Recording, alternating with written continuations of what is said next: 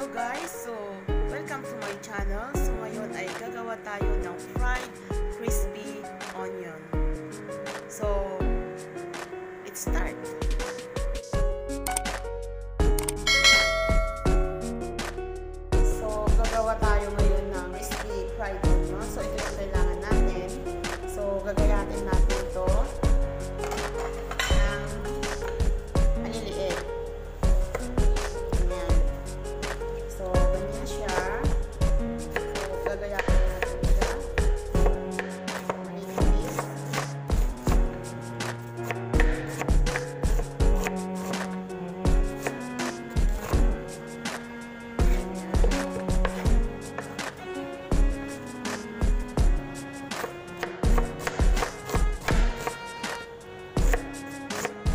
bali yan yung kailangan natin para makagawa tayo ng crispy uh, fried onion kebab.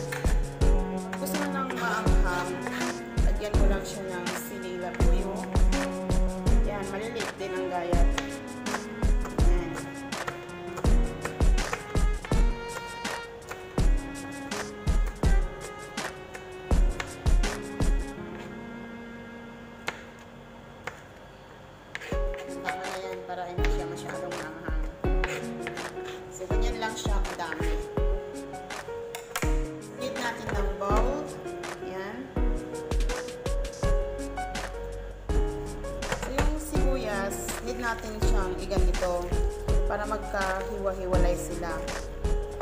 Yan. Paghiwa-hiwalayin lang yung mga ano. Kasi nagdikit-dikit. Yan, ganyan.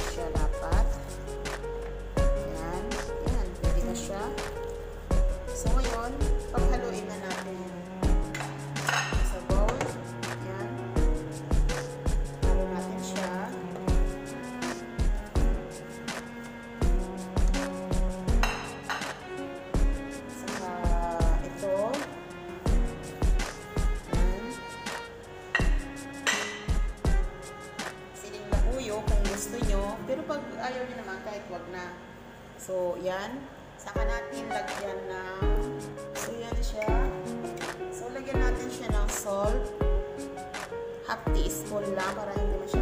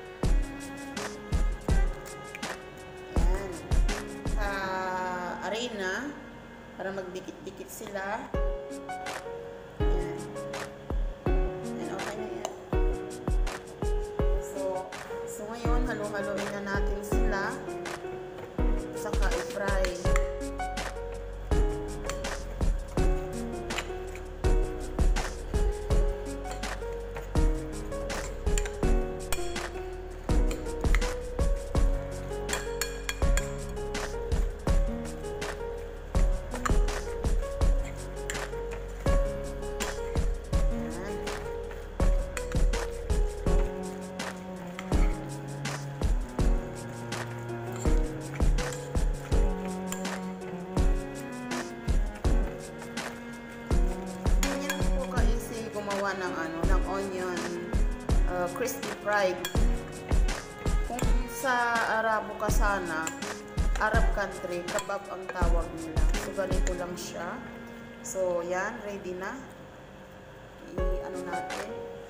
Tipo. So, ayan, painitin natin yung kawali natin para umpisahan na natin magluto ng crispy onions kebab.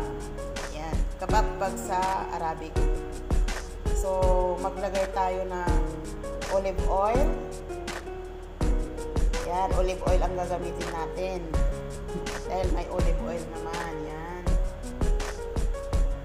Pero pag sa ano, pwede rin yung mga uh, corn oil, ganyan, pwede rin siya. So, antayin natin siyang maging mainit.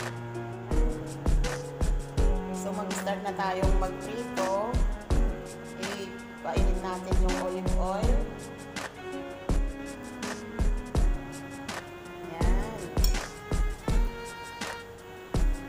Bali, isang kutsara lang ang ano, takal-takalin natin para hindi siya masyadong makapal.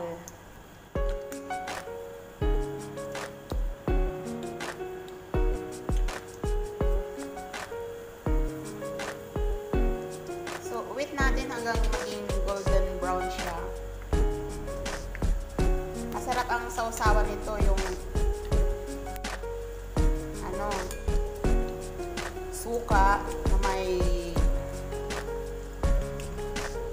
bawang. So, yan.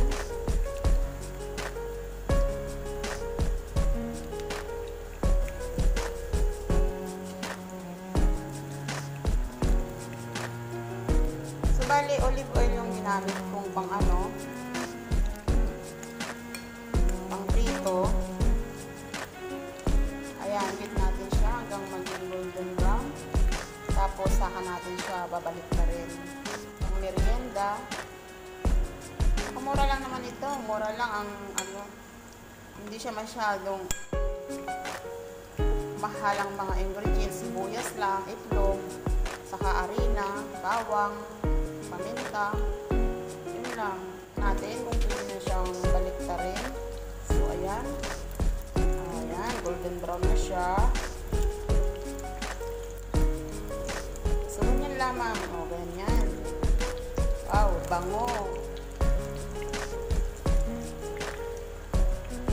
Maiba naman yung mga pagkain natin araw-araw. So, hindi naman po masyadong mahal ito. Kayang-kaya ng bulsa. So, yan. Ganyan siya. Hanggang maging golden brown lang siya talaga. Yan. Yan, ganyan.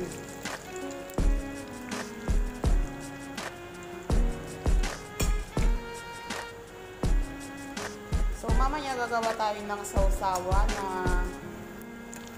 suka, bawang, tapos may kunting labuyo. Ayun, masarap. So, ito yung ano, tinatawag nila na kapag sa Arabo ay uh, kabab ang tawag nila.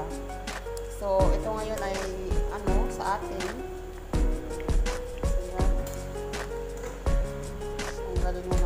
Kasi golden brown na siya.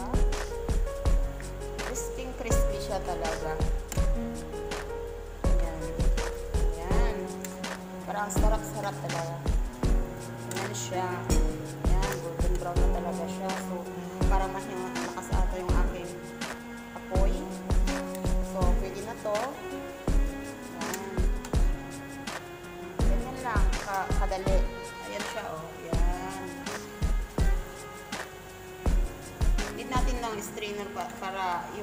Ano, yung oil hindi maipon. Pero, ano naman to, olive oil naman ang ginamit ko.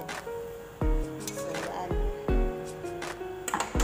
So, yan yung finished product niya. So, ang, ang ano niya talaga, oh, ganda.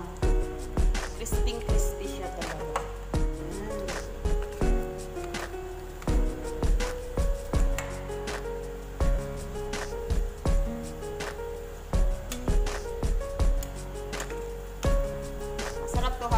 manood kayo ng TV, tapos kasama ang pamilya. Ayan, okay siya. Crispy, crispy siya talaga. So, ganyan lang ka-easy guys ang pagluluto. Ilagay natin ngayon sa plato. Ayan. Lagyan natin siya ng ganyan. Ayan. Oh, ayan. Crispy, crispy siya talaga guys. Kaya, try nyo sa bahay ninyo gumawa ng mga ganito. Mura lang naman ang ano ang mga ingredients niya. So, sawan. So, bali, white uh, onion yung ginamit ko. So, gayatin natin siya ng mga maliliit. Para sa sausawan.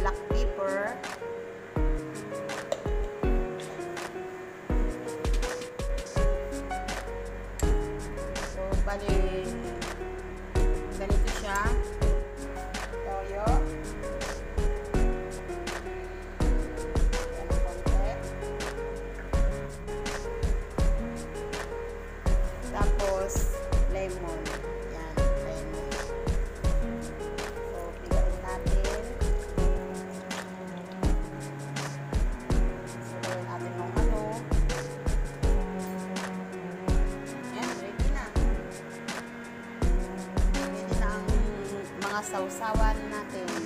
Yan.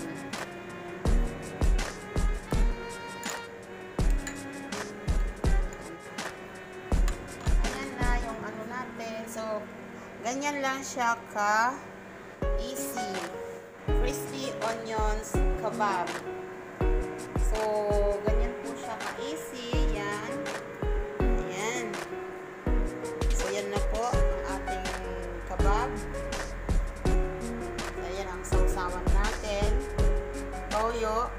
kalamansi, siling labuyo, saka uh, sibuyas, saka garlic, bawang.